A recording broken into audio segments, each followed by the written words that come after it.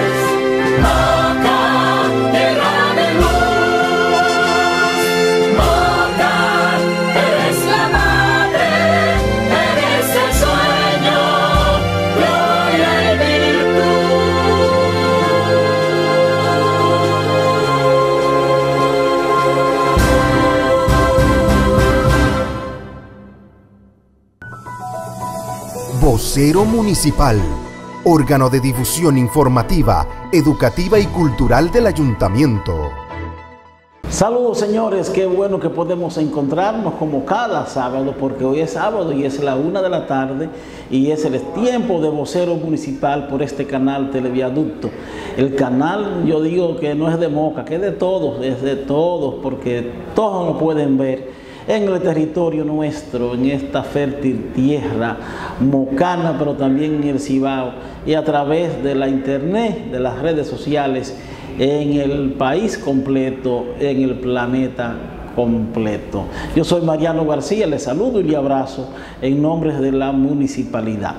Este pasado día jueves, pues fue muy importante, fue una época que debió movilizar no solamente a Moca, sino a toda la provincia de allá y al país. Pero tenemos tiempo, siempre hay tiempo, porque no tiene que ser eh, el día de la efeméride necesariamente donde se valoren eh, las actitudes, las actuaciones de las mujeres y los hombres que más han aportado en el mundo de la política, la política de bien, ¿verdad? Eh, en el plano militar para el bien, en el plano patriótico. Eh, existe una figura que honra al territorio de la provincia con su nombre, o el territorio se honra llevando su nombre, Ulises Francisco Espaillat. Y el jueves pasado, pues se celebró el bicentenario de su nacimiento. Fecha grande porque celebramos a un hombre grande, considerado el presidente eh, democrático, el más democrático, o y tal vez casi el único del siglo XIX en la República Dominicana.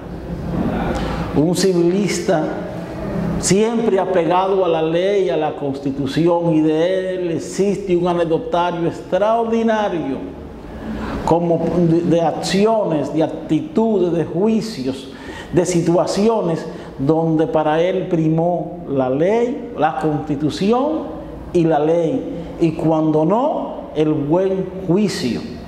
Tremendo humanista, Ulises Francisco Espaillá y así se llama nuestra provincia, la provincia Espaillá. Y no podía Moca, la capital de la provincia, eh, dejar pasar por alto tan mala fecha este acontecimiento. Por eso la alcaldía, bueno, se puso de acuerdo con la gobernación provincial, el distrito educativo 0606, que dirige el doctor Carlos Pérez y otras organizaciones para celebrar en grande esta ocasión.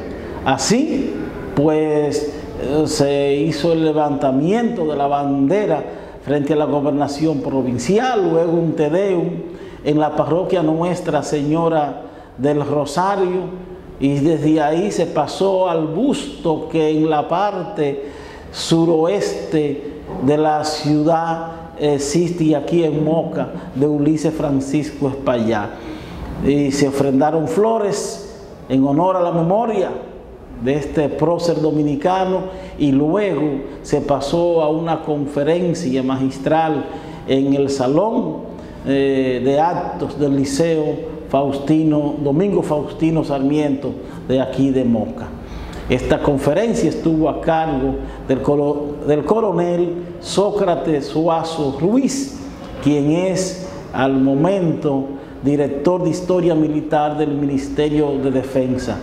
Así también el ayuntamiento aprovechó, la alcaldía aprovechó para mediante proclama reconocer al consorcio cívico que tiene como sede la Pucamaima, porque desde hace varios años, más de una década, pues ha tomado a Moca como referencia para de los actos o el acto principal eh, para el Día de la Ética que está dedicado a Ulises Francisco Espaillá. Vamos a tener un resumen de estas actividades porque es lógico que queramos compartir estas actividades con ustedes. Así les dejamos. Altamente regocijada de celebrar este bicentenario. Cada 200 años es un bicentenario, o sea que estamos celebrando algo en grande, trascendental. Mañana es el 9 de febrero de 1823 y esta provincia se honra con su nombre.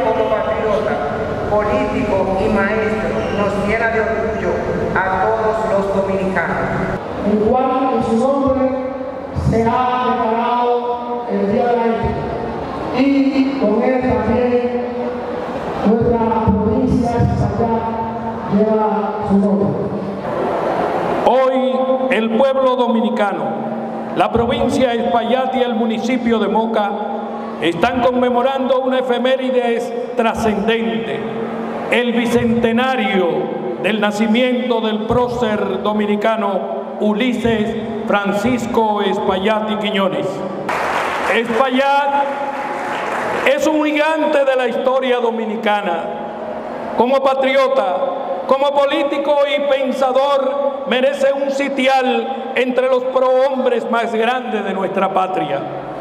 Pero su firme convicción ciudadana, unida a un vertical concepto ético de la política, hizo posible que se instituyera el Día Nacional de la Ética Ciudadana mediante decreto 252-05, el cual se celebra cada año el 29 de abril.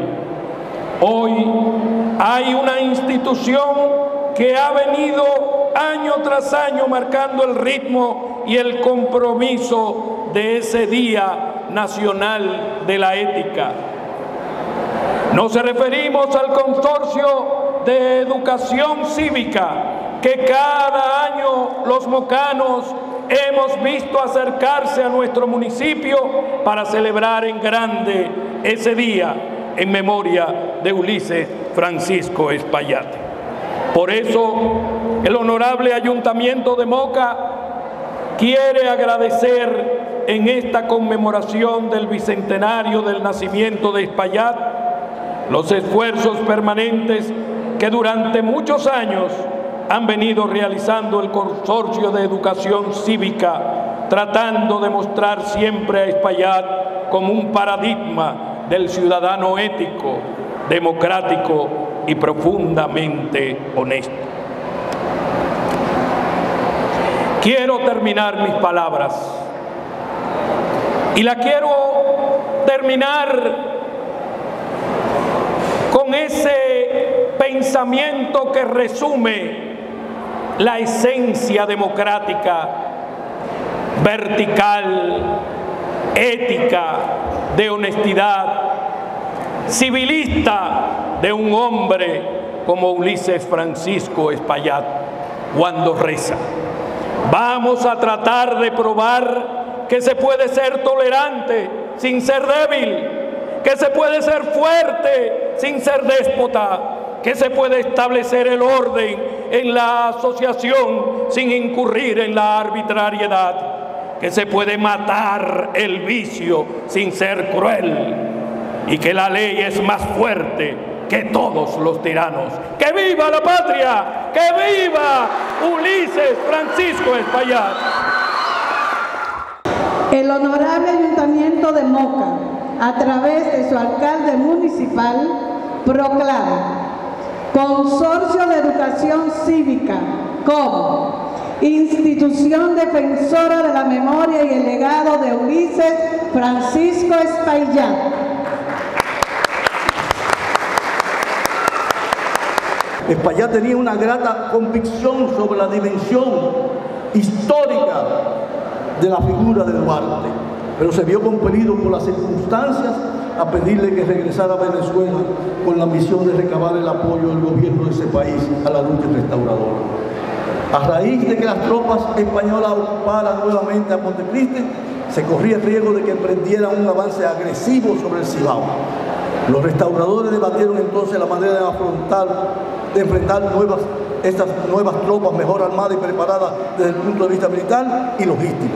En ese momento España definió la táctica militar a seguir para enfrentar a las fuerzas españolas que pretendían tomar a Santiago.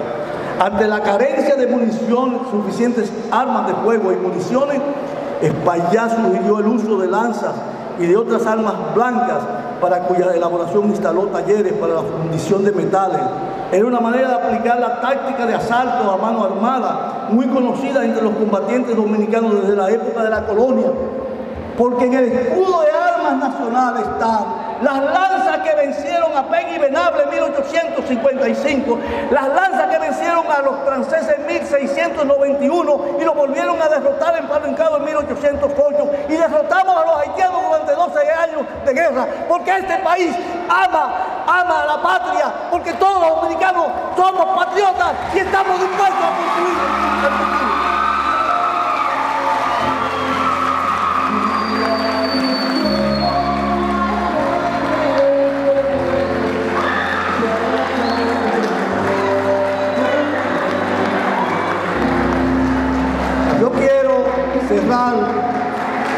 cerrar diciendo, proclamando a viva voz, porque estoy profundamente emocionado cuando pienso en Villini. Villini que duró siete meses, Espaillá que duró seis meses y Juan Bosch que duró siete meses. Son los presidentes éticos de este país. Y ahora pido una gloria presidente moral y ético Ulises Francisco Espaillá.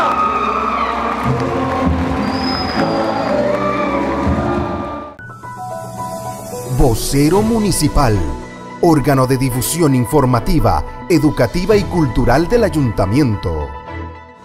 Y ahora las informaciones más importantes emanadas desde la municipalidad en esta semana que termina. Voy con un conjunto de fotos y voy a iniciar en la comunidad de Santa Rosa, específicamente en el paraje Rincón de los Jiménez, donde se trabajan los caminos vecinales de la zona. Y voy con más fotos. Esta foto es importante, eh, señor director la número 9 de fiscalización, porque la gente ocupa los espacios públicos. Se les realizan las advertencias correspondientes, prometen que van a desocupar los espacios públicos y no lo hacen hasta que viene ya la sanción. Cuando viene la sanción, vienen los lloriqueos y todas estas cosas, que no quiero decir que sea el caso pertinente del momento ahora, pero ustedes ven en estas gráficas mientras se incauta un vehículo que se está pintando en la vía pública del barrio López II. Y a este señor, eh, según nos comunicaron del Departamento de Fiscalización, pues se le había notificado en varias ocasiones de que no podía estar usando el espacio público de taller. Sin embargo, jamás ostemperó. Viene el problema cuando ya fiscalización del ayuntamiento, pues decide eh, llevarse el vehículo eh, y exigirle una multa que incluye, que incluye entonces el pago del transporte del vehículo. O sea que se sube de, dinero. Entonces lo mejor, señores, es que cuando fiscalización vaya donde alguien donde un municipio ciudadano que esté ocupando el espacio público lo reconozca y ostempere al llamado. Bueno, los empresarios, aquí lo estamos viendo, Luis Hernández, Julio Brachi y Turín Cruz, pues recibieron un pergamino de o placas de reconocimiento por su habitual respaldo, respaldo al benemérito cuerpo de bomberos.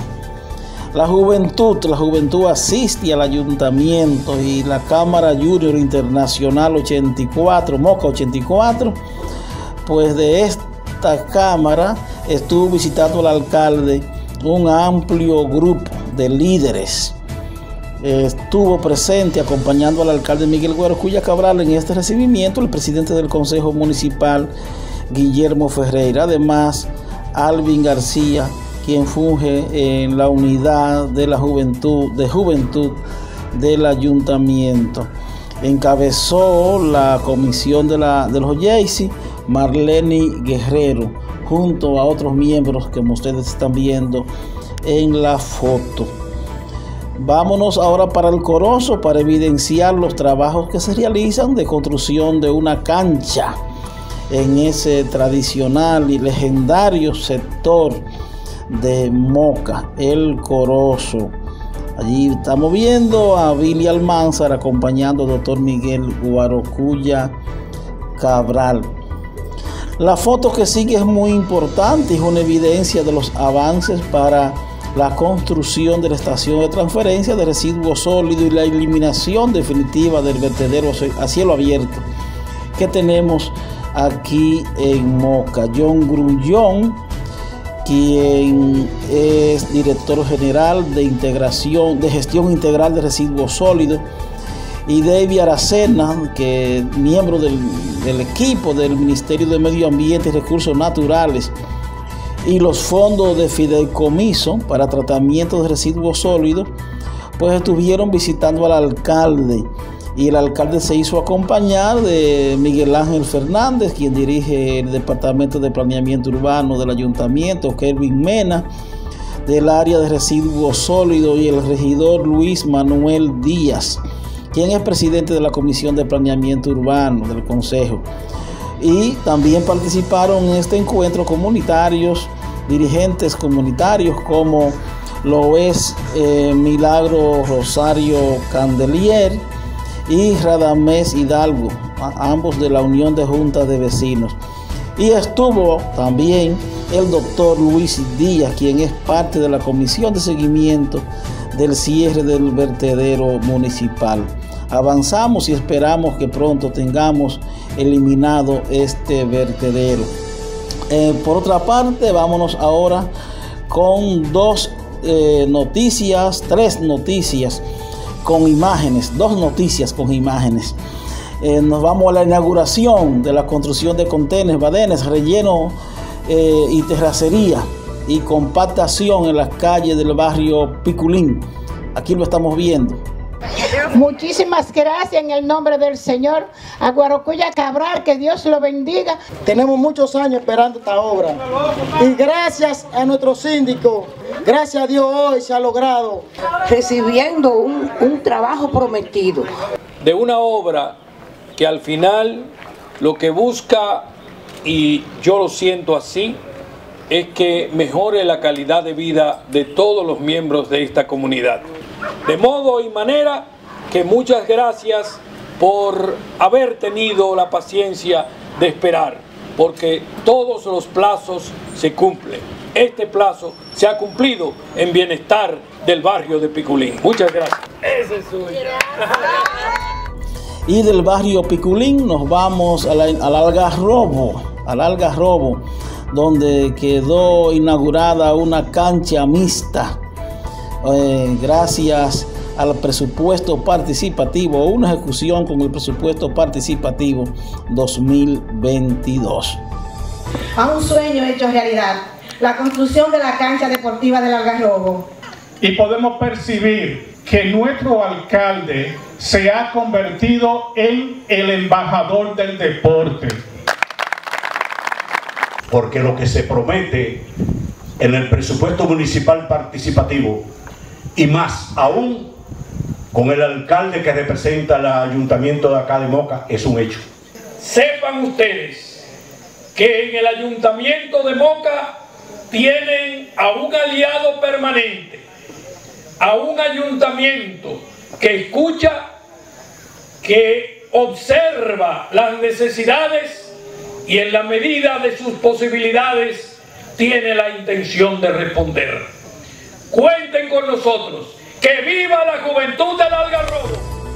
Estas fueron las informaciones más características, más relevantes, emanadas desde la municipalidad en esta semana que termina. Vocero Municipal, órgano de difusión informativa, educativa y cultural del ayuntamiento. Continuamos con este vocero municipal. El día de ayer, en la noche precisamente, eh, el Ateneo Insular celebró una actividad muy importante con un tema súper interesante en el salón de la biblioteca municipal. ¿Cuál fue el tema de ese encuentro? ¿Qué se debatió allí? ¿Qué se habló? Fue un coloquio. El lenguaje y la problemática social, la palabra y la problemática social, que va desde el buen uso hasta de las derivaciones de la palabra, eh, la problemática eh, de los signos lingüísticos usados en las redes sociales, cómo se usan. Bueno, fue, yo no, yo no me lo perdí y lo disfruté y yo quiero compartirlo con ustedes. Eh, una parte, naturalmente, no completo. Eh, los panelistas que estuvieron, que presidieron el coloquio, fueron el doctor José Rafael Vargas. El tema del doctor Vargas fue lenguaje, redes sociales y cultura juvenil. La licenciada Marjorie Félix, lenguaje, internet y redes sociales. La licenciada Keila González, lenguaje juvenil y redes sociales. Y el licenciado, nuestro hermano, amigo, compañero de labores, Luis Quesada, quien le tocó hablar de lenguaje, sociedad y espiritualidad. Eh, yo lamento no poder, no tener el espacio para que ustedes puedan, pudieran eh, ver totalmente este coloquio, pero esto estará en las redes, ese coloquio, porque estuvo, como le digo, eh, muy interesante.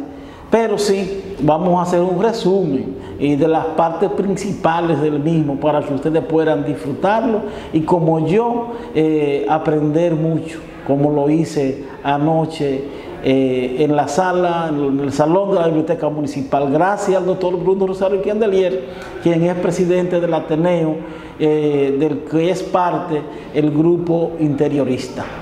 Continuamos. Vocero Municipal, órgano de difusión informativa, educativa y cultural del ayuntamiento. El movimiento interiorista del Ateneo Insular nos convocó esta noche para que hablemos de lenguaje y problemáticas sociales.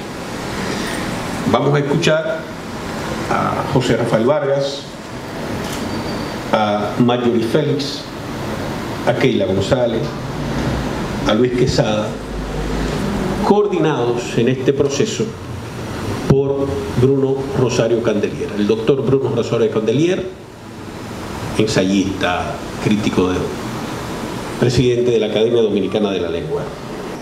De nuevo, don Bruno, gracias, profundamente gracias, por iniciar estos coloquios que forman parte de un proyecto mayor muy ambicioso desde el punto de vista cultural y que hemos denominado Moca Ciudad Cultural, que consiste en crear una metodología de cómo convertir un municipio en un dinámico espacio cultural. Muchas gracias y muy buenas noches. Celebrar un coloquio con ese tema. Claro, ese tema se presta para abordarlo desde diferentes ángulos. Este va a ser, esta va a ser la primera sesión sobre ese tema. Por supuesto, le agradezco al doctor Guaracuya Cabral sus palabras, eh, lo que él propone, que lo acojo con mucho beneplácito.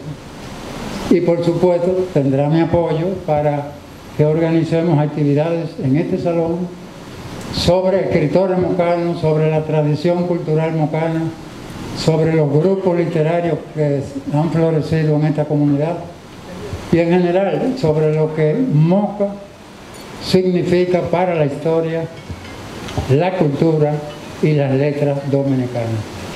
Bueno, yo decía hace tres semanas que la dimensión de la red de la internet ha cambiado el mundo.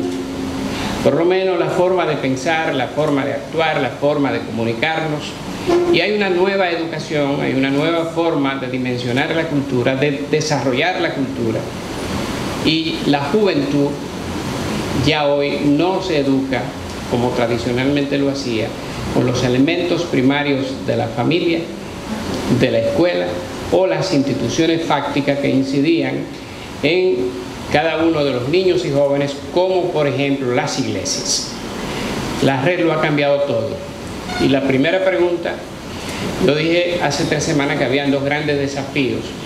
Y yo eso lo voy a explicar a través de la pantalla, para que ustedes vean cómo ha cambiado todo y no se sorprendan por algunos videos que van a ver, porque esa es la realidad de la nueva escuela dominicana, que viene por la televisión o que vienen por las redes, fundamentalmente por Facebook y por Instagram. Y los elementos que moldean el comportamiento de nuestros jóvenes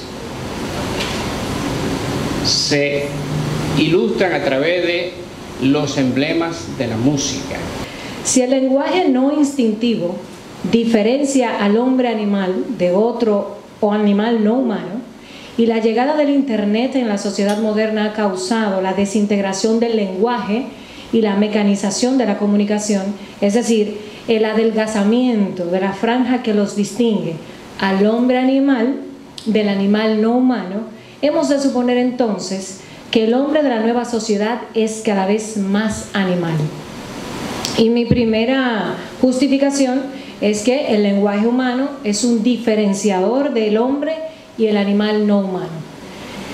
Si alguna característica tienen en común, el hombre y los animales no humanos es la capacidad de comunicarse, la capacidad de expresión.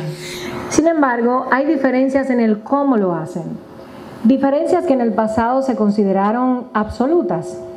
Por ejemplo, el lenguaje animal se basa en un sistema compuesto por eh, señales visuales, sonoras y olfativas que están movidas esencialmente por el instinto. Así que en mi caso voy a hablar sobre lenguaje juvenil y redes sociales. Eh, es un tema que me gusta mucho eh, porque honestamente a mí me gustan las redes sociales. Me gustan. Ahora, ¿qué pasa? Es como el helado. Me gusta el helado, pero no puedo comer helado tres veces al día. ¿Por qué? Porque el azúcar me va a matar. Entonces yo creo que todo está en el equilibrio, como he escrito en algunos artículos que he hecho para Forbes, de no cerrarnos ante esta realidad, sino mirarla desde diferentes perspectivas. Así que vamos a comenzar brevemente, primero que todo, hablando sobre el lenguaje juvenil. Y lo único que quiero resaltar en esta parte es, bueno, tomé incluso una definición de un egipcio, una tesis muy interesante que encontré, y al final los jóvenes hablan como hablan porque quieren diferenciarse. ¿Ok? Eso es todo. O sea, no quieren parecerse a los adultos. Entonces, el lenguaje juvenil tiene sus particularidades. En, el Tractatus, un libro que comenzamos a entender en la década de los 60 y lo escribió en los 20, en el Tractatus Wittgenstein decía, el lenguaje es un producto social, pero no solamente es un producto social, es un producto espiritual. Pero espiritual, en el sentido que los alemanes entienden que espiritual, eh, eh, eh, ellos ellos usan una palabra que Seijay, el espíritu de los tiempos. Eso es lo que llaman los alemanes el espíritu de los tiempos. Entonces voy a leer, porque yo sé que Don Bruno y y le corta a uno a mitad. El lenguaje es la expresión oral, expresión visual y la expresión escrita de una expresión social que está sustentada en una expresión espiritual en una espiritualidad que lo anima, entendiendo espiritualidad lo que los alemanes han llamado con mucha propiedad Seijay, o sea, el espíritu de los tiempos. El lenguaje siempre es expresión comprometida. Los franceses usan una palabra, engagement, es decir, el lenguaje no es neutral, es siempre expresión de una parcialidad. En la sociedad no existe la neutralidad. Siempre recurro a la famosa frase de Pablo Freire, que citaba que, ella no sabía, eh, Keila, Pablo Freire, uno de los mayores educadores del siglo XX brasileño, que decía, detrás de toda neutralidad expresada hay siempre una opción escondida. Detrás de toda neutralidad expresada hay siempre una opción escondida. Hoy el impacto de las redes sociales es masivo, incisivo, pero no decisivo. Si a mí me dijeran cuál es el mayor acierto o cuál es el mayor aporte que ofrece el interiorismo, sin lugar a duda expresaría que es una búsqueda y una posibilidad de recomponer un pensamiento crítico en el curso actual de la humanidad. Muchas gracias. Vocero Municipal, órgano de difusión informativa, educativa y cultural del ayuntamiento.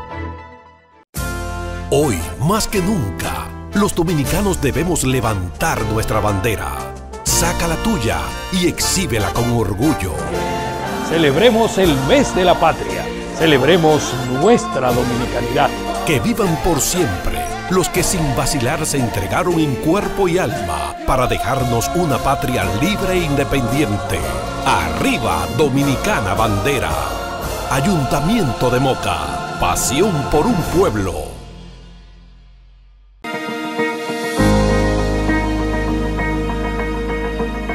Moca, pueblo de gente tan alta como su iglesia, de fértiles mentes como su tierra.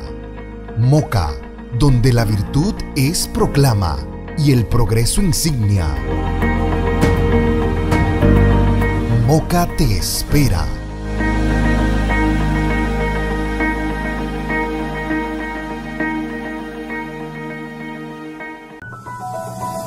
Vocero Municipal órgano de difusión informativa, educativa y cultural del ayuntamiento. Bueno, y voy con otra parte, porque es así, son bloques que tenemos que tener de resúmenes de tantas actividades que se desarrollan en el ámbito o en el entorno de la municipalidad aquí en Moca.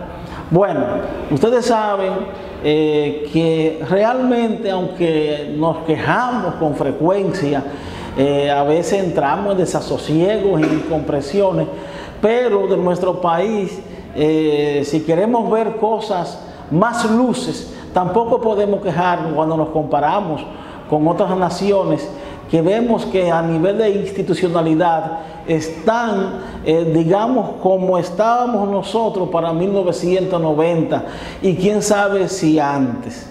Hemos avanzado, no lo que uno aspira y lo que uno quiere, pero hemos avanzado. Entonces, por ejemplo, en términos institucionales de la burocracia estatal, tenemos los ayuntamientos que son la base de gobierno local en el sistema político nuestro, pero tenemos también eh, un órgano rector que está muy vinculado a las municipalidades porque coordina la planificación nacional y la inversión pública. Entonces ahí entran todos los organismos centralizados o no del, del Estado dominicano. Y ese es el MEPI, el Ministerio de Planificación, Economía y Desarrollo, de Economía, Planificación y Desarrollo.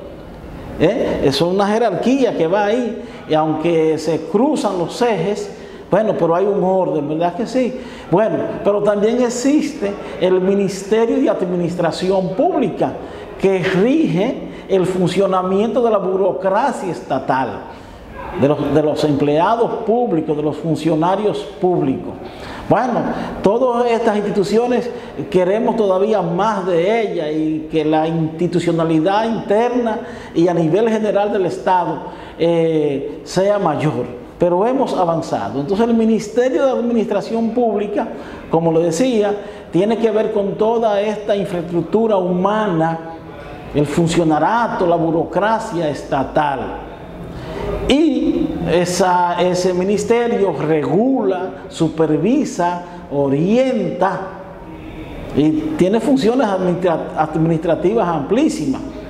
Pero también cuando una organización del Estado, una institución hace la cosa bien hecha, pues ellos se, se, encargan de estimular esa institución, bueno, y también a las otras, a las que tal vez no lo hacen tan bien, porque al ver que se premia a la que lo hace bien, la que no lo está haciendo tan bien, pues quiere, eh, quiere su premio.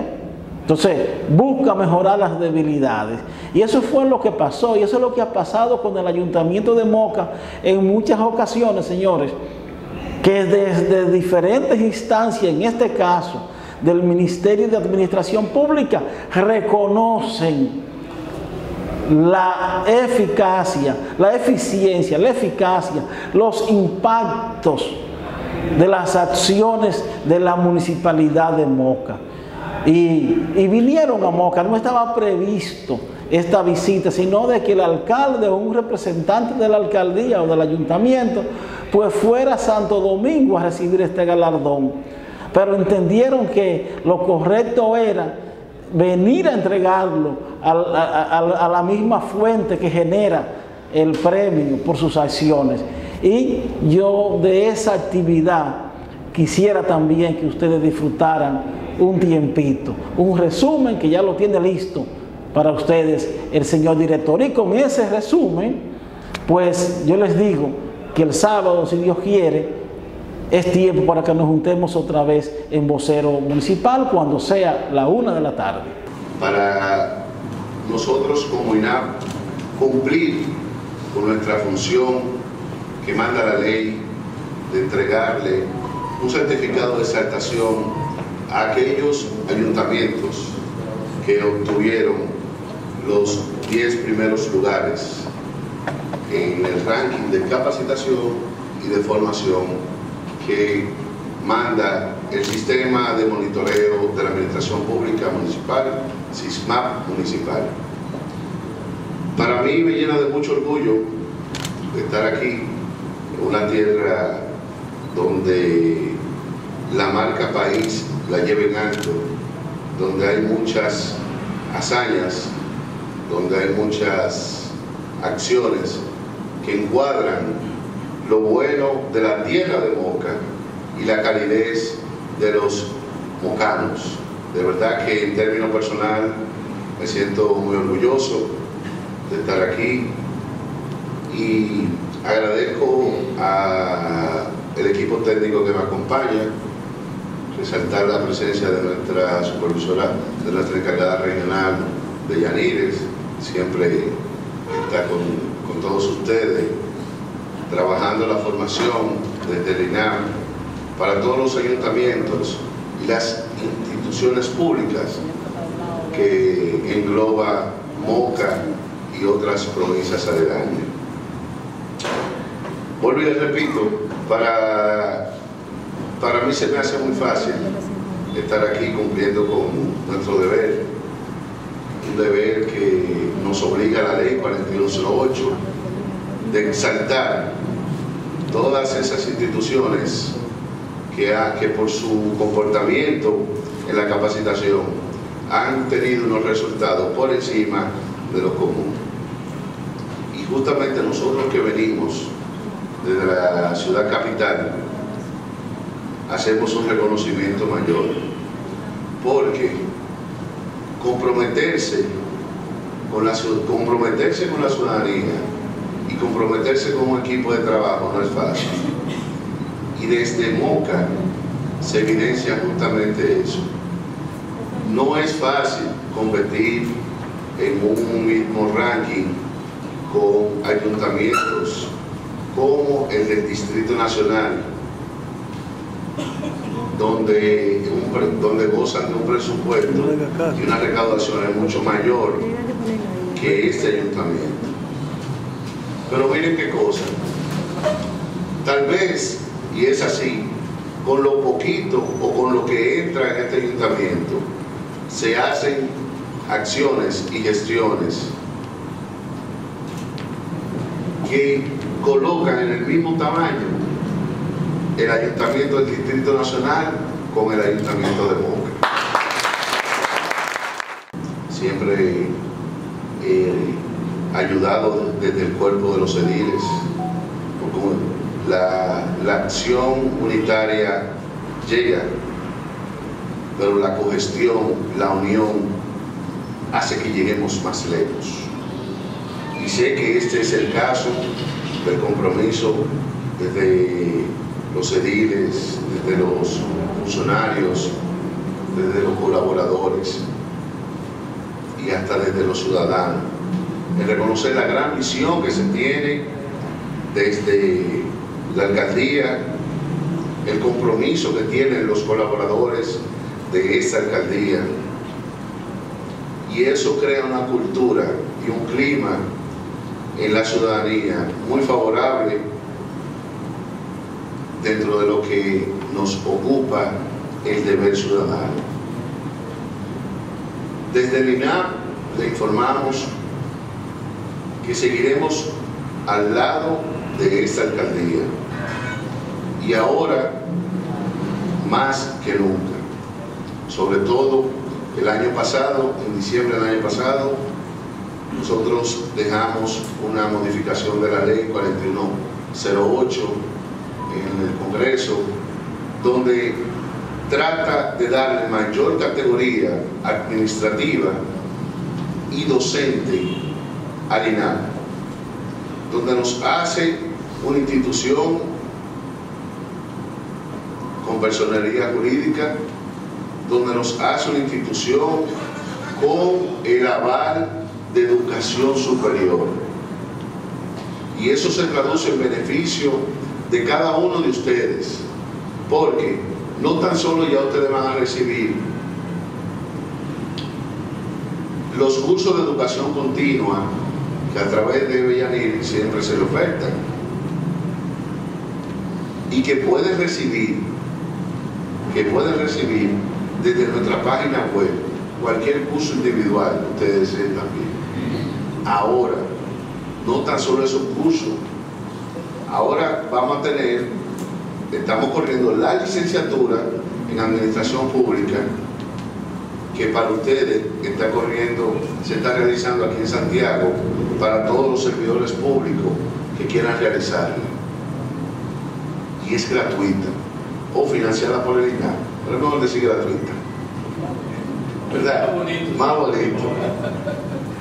Pero ahora estamos garantizando que para el desarrollo de la profesionalización de los servidores municipales que puedan accesar a becas financiadas por el INAP o dadas por el INAP a maestrías, posgrado, con salida a doctorado. De manera que el compromiso sigue latente. Nosotros estamos conscientes de que la administración pública de hoy no es la misma de ayer. Desde el gobierno central, el presidente Luis Abinader se ha preocupado por garantizar un marco normativo regulatorio que garantice toda esa deuda atrasada que tenían los gobiernos centrales con la municipalidad, con la gestión pública y la deuda que también se tiene desde la gestión pública hacia la ciudadanía. Porque esta ciudadanía sabe, exige y demanda sus derechos y los demanda en las instituciones públicas que tienen el fin de garantizar el bienestar de cada uno de esos ciudadanos a través de los servicios que ustedes ofrecen. De manera que para nosotros se nos hace, repito por tercera vez, muy fácil, muy sencillo estar aquí lleno de emoción, lleno de orgullo, muy contento, porque traer este reconocimiento de exaltación a Moca es decirle desde la administración pública, desde la presidencia, desde la, desde, la nación, decirle a Moca lo bien que ustedes lo están haciendo. De manera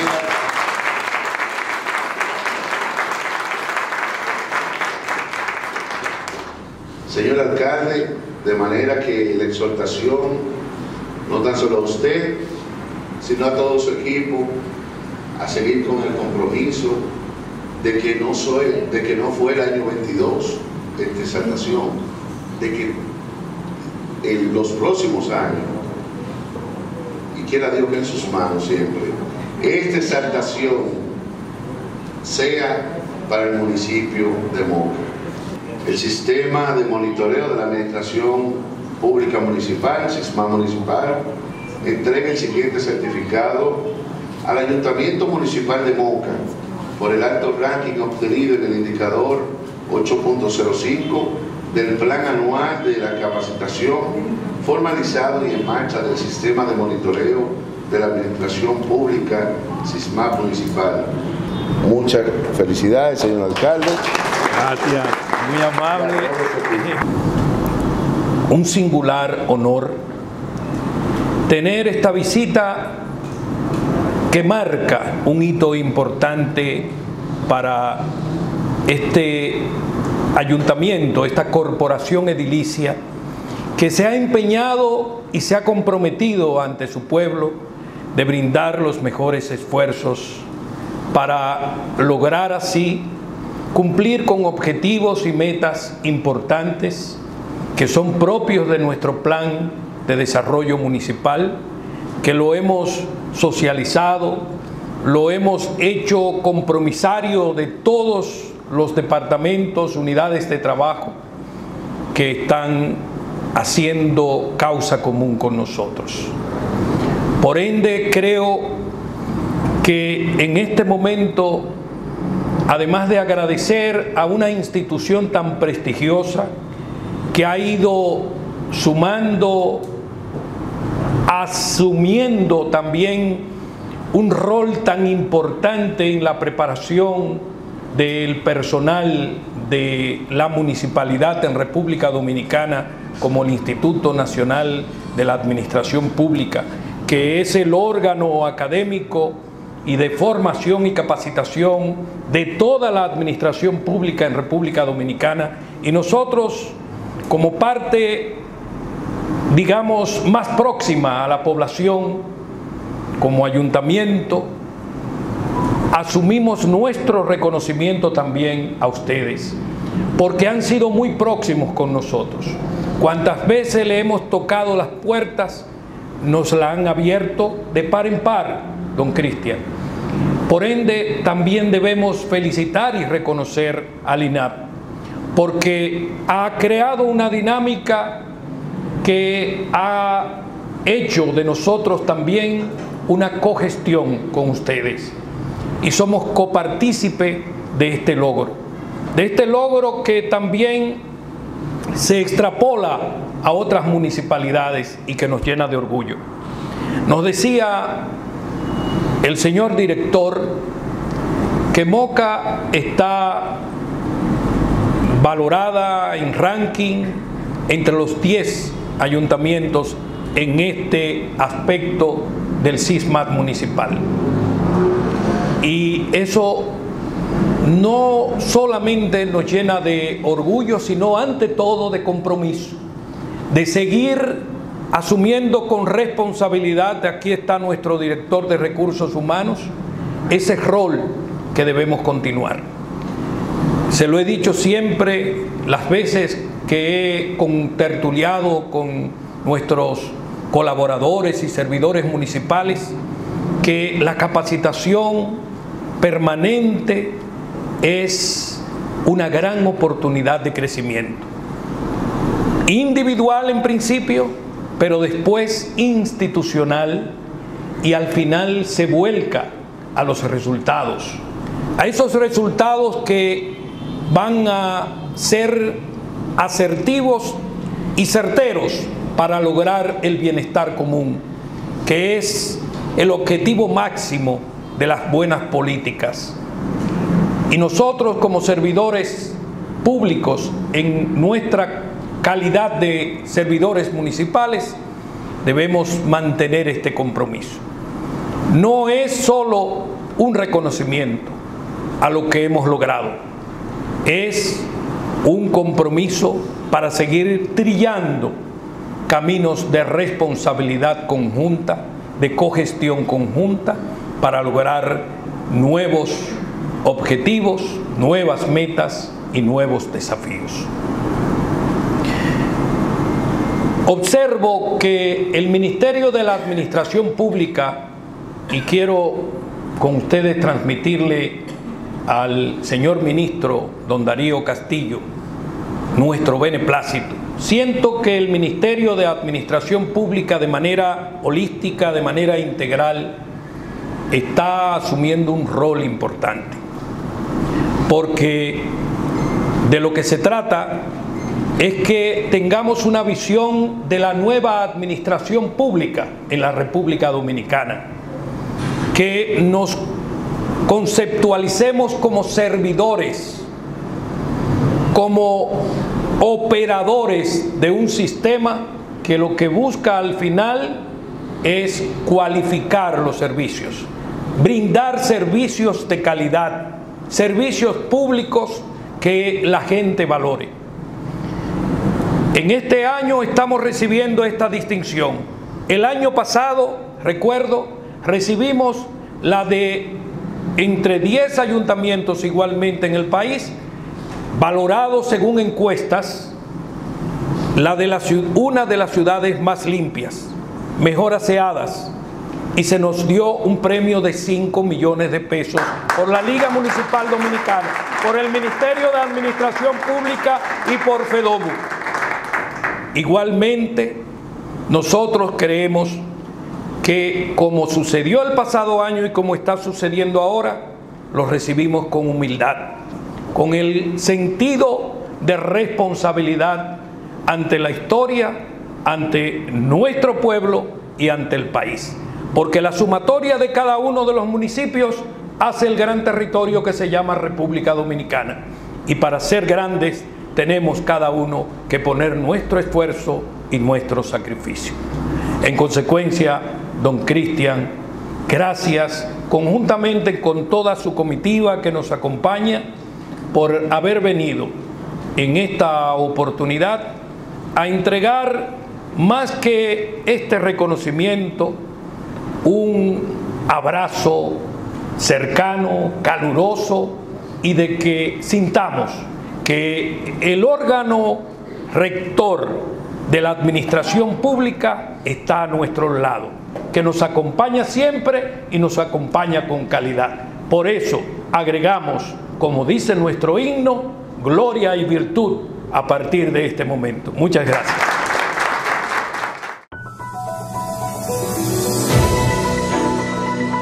El próximo sábado, cuando sea la una de la tarde, la Municipalidad de Moca compartirá nueva vez con sus municipios la experiencia de una semana. Vocero Municipal, órgano de difusión informativa, educativa y cultural del Ayuntamiento.